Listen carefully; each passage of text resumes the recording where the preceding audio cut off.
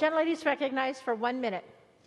Thank you, Madam Speaker. Democrat policies are so pathetic and have done so poorly that the left has nothing else to do but troll the internet looking for ways to get offended and then try to target members and strip them of their committees. This is a dumb waste of the House's time. But since the Speaker has designated the floor to discuss members' inappropriate actions, shall we?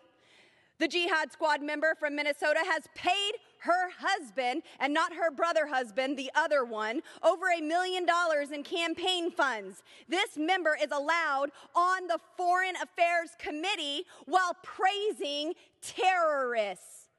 A Democrat chairwoman incited further violence in the streets outside of a courthouse.